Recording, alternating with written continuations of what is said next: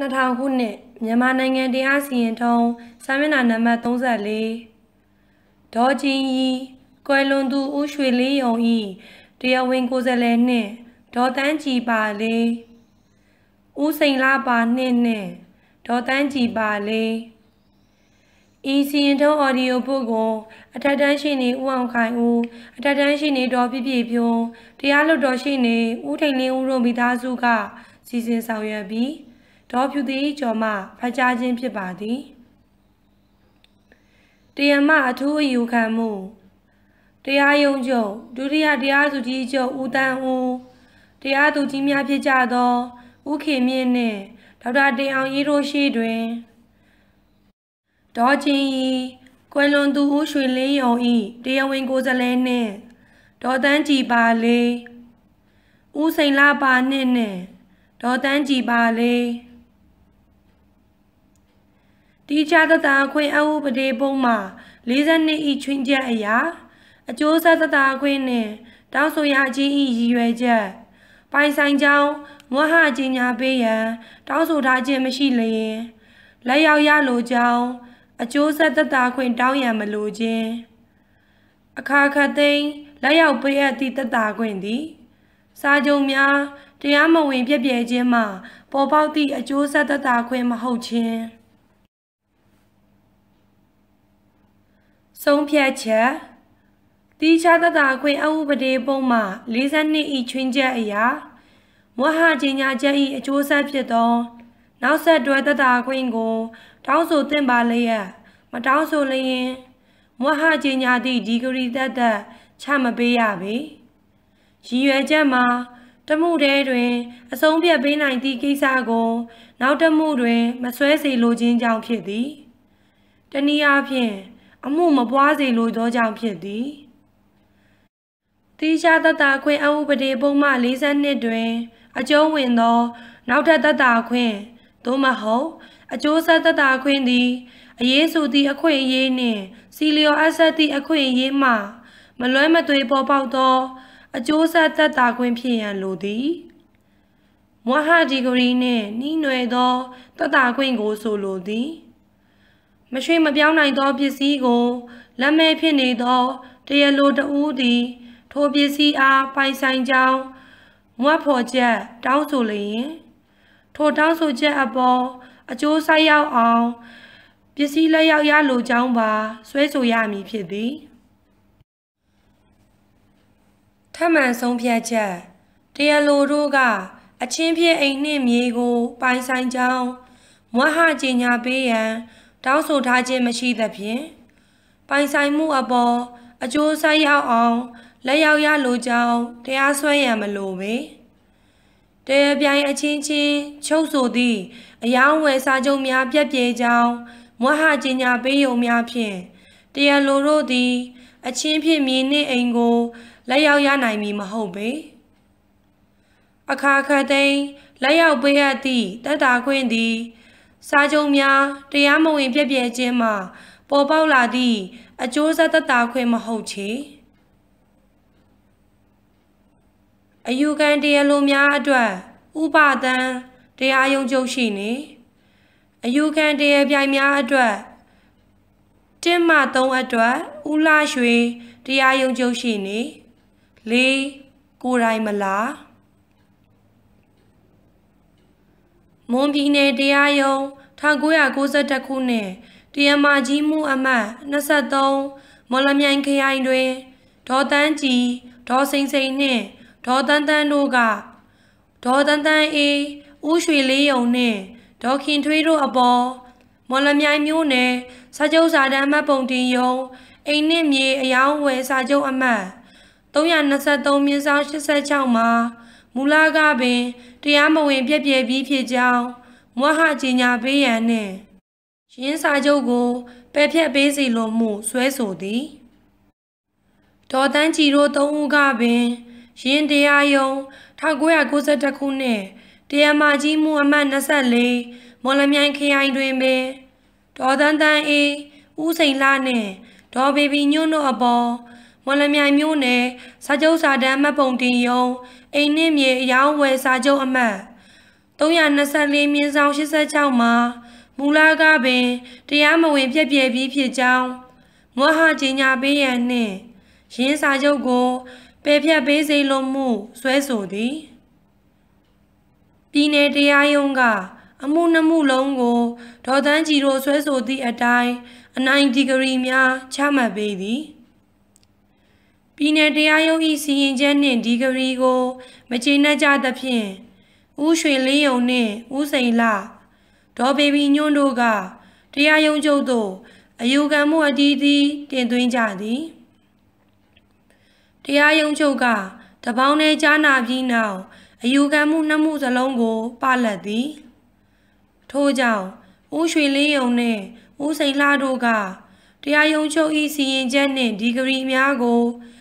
1988ခုနှစ်တရားစီရင်ရေးဥပဒေပုံမှန်6အရာပြန်လည်စစ်ဆေးစီရင်ပေးရန်လျှောက်ထားသည့်အခါတရားရုံးချုပ်အထူးခုံရုံးကလျှောက်ထားမှုနှမှုလုံးတွင် အောက်ပါပြဿနာများကို ကြားနိုင်ရန်အတွက် အထူးအယူခံဝင်ခွင့်ပြုလိုက်သည်၁အချင်းပြေဥပစာကိုမူလယုံတရပြိုင်များဖြစ်ကြသည့်ဝယ်ယူသူတို့ လက်ရှိဖြစ်နေသည့်အခြေအနေတွင် ထိုသူတို့ဝယ်ယူထားသော စာချုပ်ပြည့်ပြည့်ကြောင်းမဟာကျင်ညာသည့်ဒီဂရီကိုမူလယုံတရလိုကတိချတတခွင်အဝုပဒေပုံမှ42အရာတောင်းဆိုရာ၌အကျိုးဆက်တတခွင့်အဖြစ်ဥပစာလက်ရောက်မတောင်းဘဲစာချုပ်ပဲဖြတ်ပေးရန်သာတောင်းဆိုခြင်းသည် ဥပဒေအရမှန်မမှန်နှင့် မူလယုံတရလိုတို့ဆွဲဆိုသော အမှုတွင်တိချတတခွင့်အဝုပဒေပုံမှ42အရာမွဟကြီးညာပေးရန်အကြောင်းပေါ်ပေါက်ခြင်းရှိမရှိဤအထူးအယူခံမှုများတွင် ကြားနာရမည့်ပြဿနာမှာအတူတူပင်ဖြစ်၍ဤစီရင်ချက်သည် အယူခံမှုနှမှုစလုံးနှင့်သက်ဆိုင်စေရမည် အယူခံတရားလိုဤရှိနေကတိချာတတခွင့်အဥပဒေပုံမှ42အရာမွဟကြီးညာပေးစေလိုမှုတွင်ကန့်သက်ချက်တရက်ပါရှိကြောင်းယင်းမှာအကျိုးဆက်သက်သာခွင့်အားတောင်းခံနိုင်ပါလေရဲ့တောင်းခံခြင်းကိုစွန့်လွတ်ထားပါလျင်မြည်သည့်ယုံကားများထိုတောင်းခံမွားအချက်ဒီဂရီကို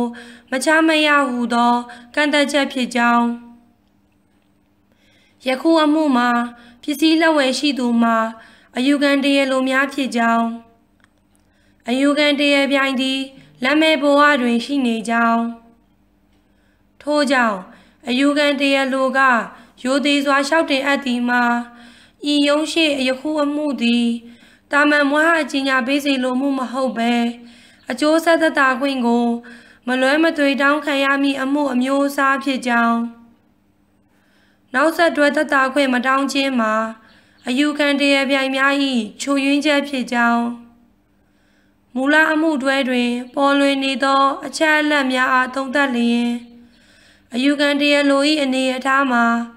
မြင်းနှင့်ဥပစာကိုဝယ်ယူပြီးလက်ဝယ်ရရှိထားကြောင်းအယူခံတရပြိုင်ကလည်း၎င်းတို့ကအမွေဆက်ခံခြင်းဖြင့်ပိုင်ဆိုင်လာသူများဟုခံယူထားကြောင်း တို့ဖြစ်ရာ အချင်းဖြစ်စည်းများမှာမြည်သူပိုင်ရှင်ဖြစ်သည်ဟုကြီးညာချက်ရယူထားရုံများဖြင့်အမှု၏အဖြစ်ဖြစ်မလာနိုင်ကြောင်းမိမိ၏အကျိုးကိုစန့်ကျင်ဘက်ပြုသူအယူခံတရလိုများထံမှလက်ရောက်ရယူသိမ်းဆည်းရမည်သာဖြစ်ကြောင်းမူလာယုံတရလိုတို့ဆွဲဆိုထားသောအမှုတွင်တိချတတခွင့်အဥပဒေပုံမှ42အရာဝဟကြီးညာပေးရန်အကြောင်း ပေါ်ပေါက်ခြင်းရှိမရှိအားဆန်းစစ်ဝေဖန်ရန်မှာမူလာယုံတရလိုဒေါ်တန်းကြည်ပါသုံးဦးတို့ကဝဟကြီးညာပေးရန်တောက်ဆိုထားသောအမှုဖြစ်၍တိချတတခွင့်ဥပဒေပုံမှ42ဤပြဋ္ဌာန်းချက်နယ်နမိတ်တွင်ကြားရောက်သောအမှုဖြစ်ကြောင်းတရလိုကမဟာကျင်ညာပေးစီလိုမှုကိုသာ တောင်းခံထားကြောင်းအယူခံတရပြိုင်များဆွဲဆိုသော မဟာကျင်ညာပေးရန်တတ်တတ်ဒီဂရီကို၎င်းတို့ရထိုက်သည်ထားအောင်တော့လက်တွေ့အသုံးမချနိုင်သောဒီဂရီသာဖြစ်ကြောင်းတို့ဖြစ်ပါ၍မွန်ပြည်နယ်တရားရုံးမော်လမြိုင်ခရိုင်တရားမာကြီးမှု23မြင်းဆောင်61 24မြင်းဆောင်61နဲ့ရန်ကုန်မြို့တရားရုံးချုပ်တရားမပထမအယူခံမှုအမှတ်129မြင်းဆောင်95 128မြင်းဆောင်95တို့၏စီရင်ချက်နှင့်ဒီဂရီများအားပါလက်ပေးပါရန်လျှောက်လဲတင်ပြသည်အယူခံတရားပြိုင်အမှတ်1နှစ်3တို့၏ရှိနေကအယူခံတရားပြိုင်1နှစ်3တို့သည်အစ္စလမ်တရားဥပဒေအရအချင်းဖြစ်အိမ်နှင့်အိန္ဒိယမြေကို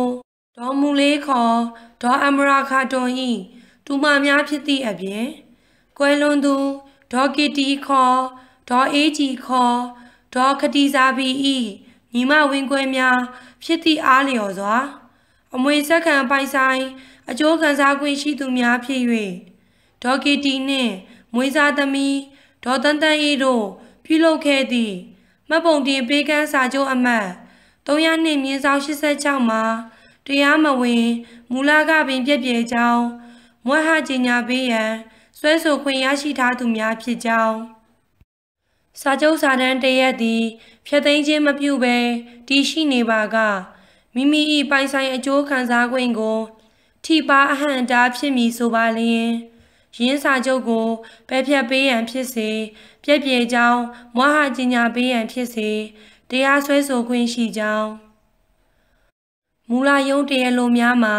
တရားမကြီးမှုအမှတ် 23မြင်းဆောင်61ကိုဆွဲဆိုရာမွဟကြီးညာပေးရန်တသက်ကိုသာဆွဲဆိုခဲ့တော်လဲတရားရုံး၏အမိန့်အရာနောက်ဆက်တွဲတသက်ခွင့်အဖြစ်ရင်းစာချုပ်ကိုဖယ်ဖြတ်ပေးရန်ပူးတွဲဆွဲဆိုခဲ့ခြင်းဖြစ်ကြောင်းအဆိုပါစာချုပ်အမှတ်323မြင်းဆောင်86ဖယ်ဖြတ်ခြင်းခံရပြီးမှသာလျှင်အချင်းဖြစ်အိမ်နှင့်အိန္ဒိယမြေတို့တွင်ယခု အယူခံတရားလိုများ၏ပိုင်ဆိုင်အကျိုးခံစား권မှာ စိတ်သုံးပြောက်ွယ်သွားမည်ဖြစ်ကြောင်းရင်းတို့ပြောက်ွယ်စိတ်သုံးပြီးမှသာလျှင်ယခု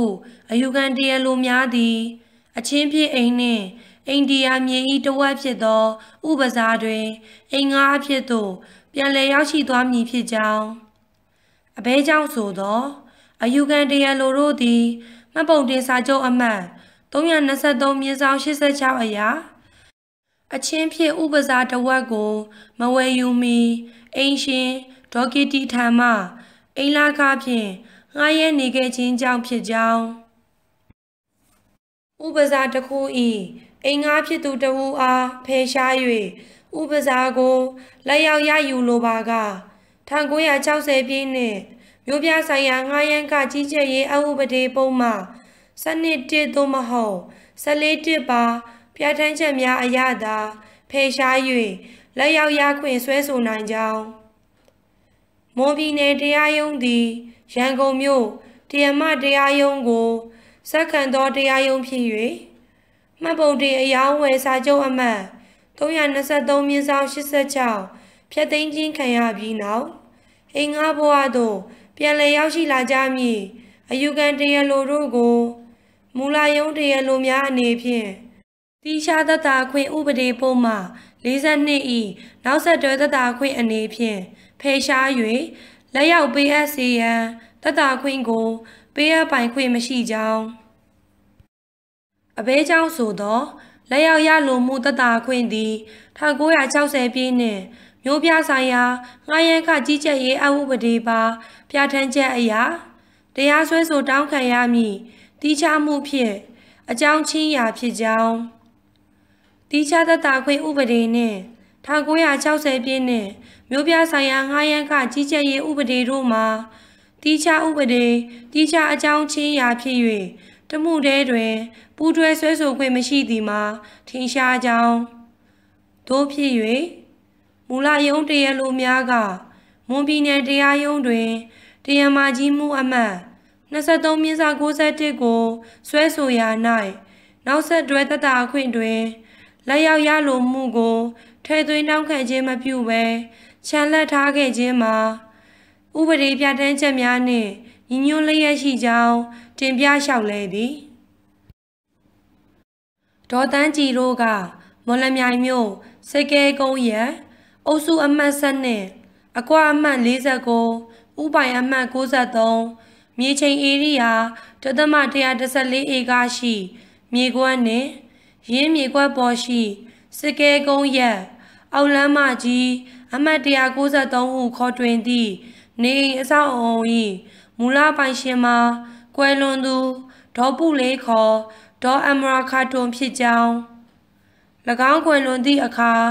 ဒေါ်တန်းကြည်ဒေါ်စိန်စိန်ဒေါ်မမနှင့်ဒေါ်ကီတီခေါ် ဒေါ်ခတီစာဘီဘီတို့တူမလေးဦးကြံရစ်ခဲ့ကြောင်းဒေါ်ကီတီခေါ်ဒေါ်ခတီစာဘီဘီနှင့်ဒေါ်မမတို့မှာကွယ်လွန်ကြပြီးဖြစ်ကြောင်းမွန်ပြည်နယ်တရားရုံးတရားမကြီးမှုအမတ်ငါးမမြင်းဆောင်80ခွန်၏ဒီဂရီအရာဒေါ်တန်းကြည်ဒေါ်စိန်စိန်နှင့်ဒေါ်တန်းကြည်တို့၏မိခင်ဒေါ်မေတို့သုံးဦးသည် အချင်းဖြစ်မြေနှင့်နေအိမ်ပိုင်ဆိုင်လာကြောင်း ဒေါ်ကီတီခေါ်ဒေါ်ခတီစာဘီဘီ၏မွေးစားသမီးအမတ်တစ်တရပြိုင်ဒေါ်တန်တန်အေးကဒေါ်ကီတီအားဖျားယောင်သွေးဆောင်ခြင်းလှည့်ပြားခြင်းမလျော်ဩဇာသုံးခြင်းပြုလုပ်ပြီးရင်းမြေကွက်နှင့်နေအိမ်ကိုဒေါ်ကီတီက၎င်းအားမြစ်တာဖြင့်ပေးကမ်းခဲ့သည်ဟုဆို၍မော်လမြိုင်မြို့နယ်စာချုပ်စာတမ်းမှတ်ပုံတင်ယုံစာချုပ်အမှတ် 300နှစ်မြင်းဆောင်1986ကိုရယူခဲ့ကြောင်းထို့နောက်ဒေါ်တန်တန်အေးသည်ရင်းမြေကွက်နှင့်နေအိမ်ကိုနှစ်ပိုင်းခွဲ၍တပိုင်းကိုဦးရွှေလင်းယုံနှင့်ဒေါခင်ထွေးတို့အားအိမ်နှင့်အိမ်ယာမြေကွက်အယောင်းဝယ်စာချုပ်အမှတ်300နှစ်မြင်းဆောင်1986အရ၎င်းကြံတပိုင်းကိုဦးစိန်လာနှင့်ဒေါ်ဘေဘီညွန့်တို့အား အိမ်နှင့်အိမ်ယာမြေအယောင်းဝယ်စာချုပ်အမှတ်324မြင်းဆောင်1986အရ၎င်းလွှဲပြောင်းရောင်းချခဲ့ကြောင်းတရလိုတို့ကဒေါ်တန်တန်၏အပေါ်ဒေါ်ကီတီခေါ်ဒေါ်ခတီစာဘီဘီထံမှ၎င်းရယူထားသည့်မြစ်တာဖြင့်အပိုင်ပေးကမ်းသည့်စာချုပ်အမှတ်300နှစ်မြေဆောင်86သည် မတရားသွေးဆောင်ဖျားယောင်းလှည့်ပြား၍ရယူခဲ့ခြင်းကြောင့် ရင်းစာချုပ်အားတရားမဝင်ပြည့်ပြည့်ကြောင်းမဟာကြီးညာပေးရန်မွန်ပြည်နယ်တရားရုံးတရားမကြီးမှုအမတ်152မြင်းဆောင်89တွင်တရားစွဲဆိုခဲ့ရာ အနိုင်ဒီဂရီရရှိခဲ့ကြောင်းရင်းမြစ်တာဖြင့်ပေးကမ်းသည့်စာချုပ်အမှတ်300နှစ်မြင်းဆောင်86သည်မူလကပင်တရားမဝင်ပြည့်ပြည့်ပြီးဖြစ်၍ဒေါ်တသန်းအေးသည် ရင်းမြေခွက်နှင့်နေအိမ်ကို အမှန်တကယ်ပိုင်ဆိုင်သည့်ပိုင်ရှင်ဖြစ်မလာတော့ကြောင်းပိုင်ရှင်အစ်အမှန်မဟုတ်သူဒေါ်တသန်းအေးကဦးရွှေလင်းယုံတို့အားရောင်းချခဲ့သည့်နေအိမ်နှင့်အိမ်ယာမြေအယောင်းဝယ်စာချုပ်အမှတ်323မြင်းဆောင်86သည်၎င်းဦးစိန်လာတို့အားရောင်းချခဲ့သည့်နေအိမ်နှင့်အိမ်ယာမြေအယောင်းဝယ်စာချုပ်အမှတ် 324မြင်းဆောင်86သည်၎င်းမူလာကပင်တရားမဝင်ပြည့်ပြည့်နေပြီးဖြစ်ကြောင်းအဆိုပြု၍ရင်းစာချုပ်များကိုပယ်ဖြတ်ပေးစေလိုမှုများဆွဲဆိုသည်ဦးရွှေလင်းယုံနှင့်ဦးစိန်လာတို့ကအချင်းဖြင့်မြေနှင့်အိမ်ကိုဒေါ်ကီတီခေါ်ဒေါ်အေးကြီးတဝူးတဲ့ပိုင်ဆိုင်ပြီးမှ၎င်းမှဒေါ်တန်တန်အေးအားတရားဝင်စာချုပ်စာတမ်းအရာ မြစ်တာဖြင့်ပေးကမ်းခဲ့ခြင်းဖြစ်ကြောင်းဒေါ်မူခေါ်ဒေါ်အဖီရာခါတွန်ကြံရစ်သောပစ္စည်းမဟုတ်ကြောင်းအချင်းဖြင့်မြေနှင့်အိမ်သည်ဒေါ်စိန်စိန်ဒေါ်မမတို့လက်ရှိရှိသောပစ္စည်းမဟုတ်ကြောင်းတရပြိုင်များဝယ်ယူပိုင်ဆိုင်လက်ရှိနေထိုင်လျက်ရှိကြောင်းဒေါ်တန်တန်အေးကစာချုပ်အမှတ်300နှစ်မြေဆောင်86အရာ၎ င်းရရှိထားသည့်အချင်းဖြင့်မြေနှင့်အိမ်ကိုတရပြိုင်တို့အားဥပဒေနှင့်အညီမှတ်ပုံတင်အယောင်းဝယ်စာချုပ်အမှတ်323မြေဆောင်86နှင့်324မြင်းဆောင်86တို့ဖြင့်ရောင်းချခဲ့ခြင်းဖြစ်၍ရင်းစာချုပ်များသည်ပြည့်ပြည့်ခြင်းမရှိတည်မြဲလျက်ရှိကြောင်းတရားလိုများသည်တရားမာကြီးမှုအမှတ်150မြင်းဆောင်89အမှုတွင် ဒေါ်သနန်းအေးအပေါ်မလျော်ဩဇာသုံး၍စီရင်ချက်နှင့်ဒီဂရီကိုရယူခဲ့ခြင်းဖြစ်ကြောင်းတရားလိုများသည် အချင်းဖြင့်မြေနှင့်အိမ်တွင် အမွေစက္ကန့်ပိုင်ဆိုင်ကြောင်းမှလည်းပြေပြတ်သွားပြီဖြစ်၍ယခုပုံစံဖြင့်အမှုဆွဲဆိုခွင့်မရှိတော့ကြောင်းခြေပကြသည်ပြည်내တရားရုံးကရင်းတရားရုံးတရားမာကြီးမှုအမှတ် 152မြင်းဆောင်89တွင်ဒေါ်ကီတီကဒေါ်တန်းတန်းအေးအားအချင်းဖြင့်မြေနှင့်အိမ်ကိုမြစ်တာဖြင့်အပိုင်ပေးခဲ့သည့်မပုံတင်စာချုပ်အမှတ်300နှင့်မြင်းဆောင်86သည်ပြက်ပြဲကြောင်းဒီဂရီချမှတ်ထားရာရင်းဒီဂရီသည်အတီဖြစ်နေသည်မြဒေါ်တန်းတန်းအေးသည် အချင်းဖြစ်ပစ္စည်းတွင်ပိုင်ရင်ပိုင်ခွင့်တစုံတရာမရှိတော့ကြောင်း ပစ္စည်းကို မပိုင်သူဒေါ်တန်းတန်းအေးထံမှဝေခဲ့ကြသူတရပြိုင်များနှင့်ဒေါ်တန်းတန်းအေးတို့အကြားချုပ်ဆိုထားသည့်စာချုပ်အမှတ်323မြင်းဆောင်86နှင့်324မြင်းဆောင်86တို့မှာလည်းမူလကပင် ပြည့်ပြည့်နေပြီးဖြစ်သည်မှာထင်ရှားကြောင်းသုံးသပ်ပြီးနောက်ရင်းစာချုပ်များအားပယ်ဖြတ်စေရန်ဒီဂရီချမှတ်သည် တရားရုံးချုပ်ကဒေါ်ကီတီခေါ်ဒေါ်ခဒီစာဘီဘီကဒေါ်တန်တန်အေးအားအချင်းဖြင့်မြေနှင့်အိမ်ကိုမြစ်တာဖြင့်ပေးကမ်းသည့်စာချုပ်အမှတ်300နှစ်မြင်းဆောင်86သည် ပြည့်ပြည့်သွားပြီဖြစ်၍ဒေါ်တန်တန်အေးသည် အချင်းဖြင့်ပစ္စည်းတွင်ပိုင်ရေးပိုင်ခွင့်တစုံတရာမရှိတော့ကြောင်းထို့ကြောင့်မပိုင်သူဒေါ်တန်တန်အေးက ရောင်းချသည့် အယောင်းဝယ်မှတ်ပုံတင်စာချုပ်အမှတ်323မြင်းဆောင်86နှင့်324မြင်းဆောင်86တို့ကိုပယ်ဖြတ်ကြောင်းဒီဂရီချမှတ်သည့်မူလရုံး၏စီရင်ချက်နှင့်ဒီဂရီသည်မှားယွင်းခြင်းမရှိကြောင်းသုံးသပ်ဆုံးဖြတ်သည်တိကျတတခွေအဥပဒေပုံမှ42တွင်အောက်ပါအတိုင်းပြဋ္ဌာန်းထားသည်40နှင့် တရားဝင်အနေအထားကိုဖြစ်စေပစ္စည်းနှင့်ဆက်လင်းသည့်အခွင့်အရေးကိုဖြစ်စေရထိုက်ခွင့်ရှိသူတဦးဦးသည်မိမိအနေအထားကိုသို့မဟုတ်မိမိအခွင့်အရေးကိုညှင်းဆိုသူသို့မဟုတ်ညှင်းဆိုရန်အကျိုးလိုလားသူအပေါ်တရားစွဲဆိုနိုင်သည်တရားရုံးသည် ထိုသို့ရထိုက်ခွင့်ရှိကြောင်းမိမိ၏သဘောအတိုင်းမွဟကြေညာနိုင်သည်ထို့အပြင်တရားလိုသည် ထိုအမှုတွင် နောက်ထပ်တတ်တာခွင့်တောင်းရန်မလိုတို့ရာတွင်တရားလိုသည်ပိုင်ဆိုင်ခွင့်ရှိကြောင်းမွဟကြေညာချက်တသက်အပြင်နောက်ထပ်တတာခွင့်တောင်းခံနိုင်လျက်တောင်းခံရန်ပြက်ကွက်လျင်မိသည့်တရားရုံးကမျှထို့သောမွဟကြေညာခြင်းမပြုရတိချာတတာခွင့်အဥပဒေပုံမှ42ဤချွင်းချက်အရာ မွဟကြေညာချက်ဤအကျိုးဆက်ဖြစ်သော နောက်ဆက်တွဲတတာခွင့်ကို တောင်းဆိုသင့်ပါလျက်မတောင်းဆိုလျင်ဝါဟကျင်ညာသည့်ဒီဂရီတက်တက်ချမပေးရပေရည်ရွယ်ချက်မှာတမှုတဲတွင် အဆုံးဖြတ်ပေးနိုင်သည့်ကိစ္စကို နောက်တမှုတွင် မဆွဲစေလိုခြင်းကြောင့်ဖြစ်သည်တနည်းအားဖြင့်အမှုမပွားစေလိုသောကြောင့်ဖြစ်သည်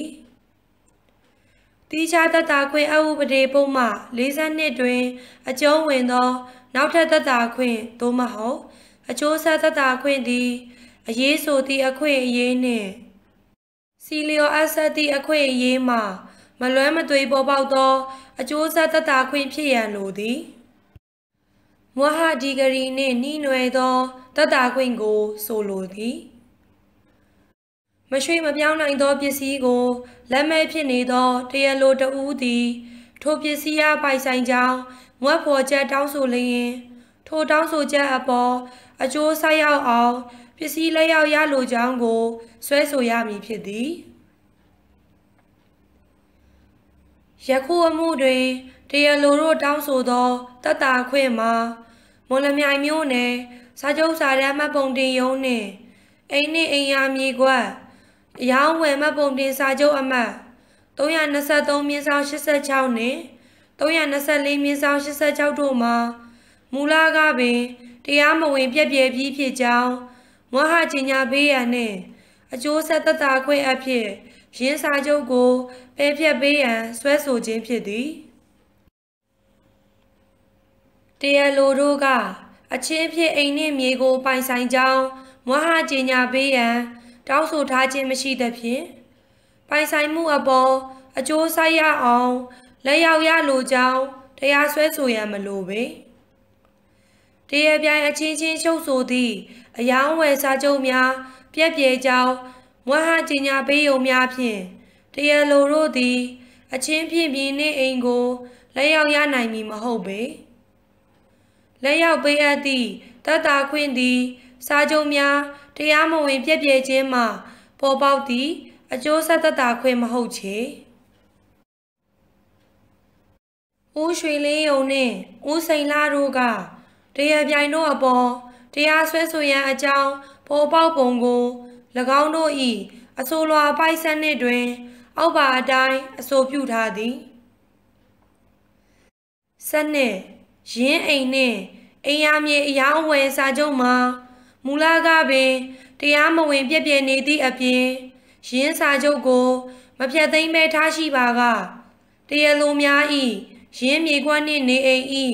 အမွေဆက်ခံပိုင်ခွင့်အပေါ်အကြီးအကျယ်ထိခိုက်နစ်နာဟန်တားနေမည်ဖြစ်၍ရင်းနေအိမ်နှင့်အိမ်ယာမြေခွက်အယောင်းဝယ်စာချုပ်ကိုမူလကပင်တရားမဝင် ပြည့်ပြည့်နေပြီးဖြစ်ကြောင်းတရားစွဲဆိုရန်လိုအပ်လာပါသည် တရားလိုတို့ကစာချုပ်များသည်မူလကပင်တရားမဝင်ပြည့်ပြည့်ကြောင်းဝဟဒီဂရီကို တောင်းဆိုခဲ့ရာတိုင်းတရားရုံးကအယောင်ဝယ်မှတ်ပုံတင်စာချုပ်ကိုတရားမဝင်ပြည့်ပြည့်ကြောင်းမဟာကြီးညာပေးရန်တသက်ဆွဲဆိုနိုင်ပါသလားဟုသည့်ညင်းချက်ကိုကြားနာပြီးနောက်တရားလိုများသည်အယောင်ဝယ်မပုံတင်စာချုပ်များကိုတရားမဝင်ပြည့်ပြည့်ကြောင်း မဟာကျညာပေးရန်တိချာတတခွင့်အဥပဒေပုံမှ42အရာတရားစွဲဆိုရန်မဟုတ်ပဲရင်းဥပဒေပုံမှ39အရာ